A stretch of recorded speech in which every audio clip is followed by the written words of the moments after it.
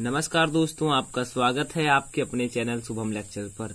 Friend इस video में आ, मैं आपको बताऊँगा कि नेत्र की समंजन क्षमता किसे कहते हैं ठीक है?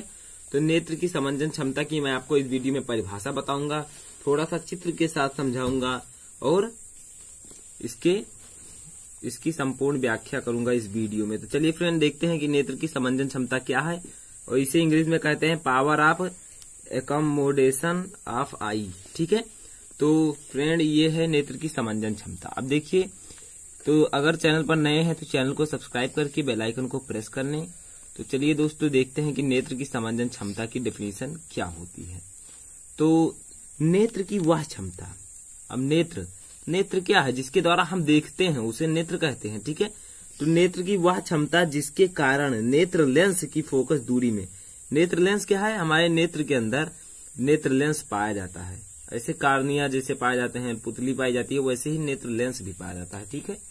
तो देखिए डिफिनेशन नेत्र की वह क्षमता जिसके कारण नेत्र लेंस की फोकस दूरी फोकस दूरी तो शायद आप लोग जानते ही होंगे, ठीक है? तो कि फोकस दूरी में परिवर्तन कर नज़दीक व दूर की वस्तुओं को स्पष्ट रूप से देखा जा सकता है, क्या कहलाती है? नेत्र की समंजन क्षमता कहलाती है। तो फ्रेंड ये तो था इसका डेफिनेशन एंड आप इसका स्क्रीनशॉट भी ले सकते हैं ताकि आपको अच्छे से याद हो जाए, ठीक है? तो अब इसे हम चित्र की सहायता से किस प्रकार समझेंगे तो मैं आपको समझा देता हूँ, लेकिन सबसे पहले आपको डेफिनेशन अच्छे से आनी चाहिए, तभी आप इसका चित्र समझ पाएँगे। तो देखिए फ्रेंड नेत्र की वह क्षमता जिसके कारण नेत्र लेंस की फोकस दूरी मतलब नेत्र जो है, अपने जो नेत्र में लेंस लगा होता है, वो लेंस की फोकस दूरी में परिवर्तन करके नज़दीक व दूर की वस्तुओं को देख सकता है। तो इसे क्या कहते हैं फ्रेंड नेत्र की समंजन क्षमता। अब इसका सिंपल अगर डेफिनेशन देखा जाए तो नेत्र में एक क्षमता पाई जाती है। क्या क्षमता पाई जाती है? कि वह अपने लेंस की फोकस दूरी में परिवर्तन कर सकता है जिसके द्वारा वह नज़दीक और, और दूर की वस्तुओं को देख सकता है। तो क्षमता का नाम है फ्रेंड समंजन क्षमता। तो आई होप कि आपको समझ में आ गया होगा। अभी भी नहीं आया है तो मैं आपको थोड़ा सा समझा देता हूँ कैसे इसकी सहायता से ठीक है? तो देखिए फ्रेंड ये है आपका नेत्र। ये पूरा जो है फ्रेंड ये आपका नेत्र है, ठीक है? अब इसमें यहाँ पर आप लोग देख सकते हैं कि एक लेंस लगा होता है। क्या लगा होता है फ्रेंड एक लेंस लगा होता है। अब इसी लेंस की क्षमता, यानी कि नेत्र लेंस जो है, अपनी फोकस दूरी में, यानी कि ये जहाँ तक देखता है, जहाँ तक इसका फोकस जाता है, जिस वस्तु तक, उस तक की दूरी क्या है? फोकस दूरी। तो यही नेत्र लेंस जो है फ्रेंड इसी के द्वारा क्या होता है? इसी इसी नेत्र में वह क्षमता पाई जाती है, ठीक है? जैसे नेत्र है ये, इसमें एक क्षमता पाई जाती है कि वह अपने नेत्र लेंस की फोकस दूरी में, इसी लेंस की फोकस दूरी में परिवर्तन करके दूर व नज़दीक की वस्तुओं को स्पष्ट देख सकता है, और उसी को हम लोग कहते हैं फ्रेंड क्या? नेत्र की समंजन क्षमता। तो आई होप कि आपको इतना समझ में आ गया होगा कि नेत्र की समंजन क्षमता क्या है। ये आपके बोर्ड एग्ज़ाम में भी पूछा जा चुका है दो ईयर तो इसे आप ध्यान से पढ़िएगा, ठीक है फ्रेंड तो नेत्र की समंजन क्षमता आपको समझ में आ गया होगा तो मैं फिर से बता देता हूँ इसका डेफिनेशन नेत्र की वह क्षमता जिसके कारण नेत्र लेंस की फोकस दूरी में परिवर्तन करके नज़दीक व दूर की वस्तुओं को स्पष्ट रूप से देखा जा सकता है समंजन क्षमता कहलाता है.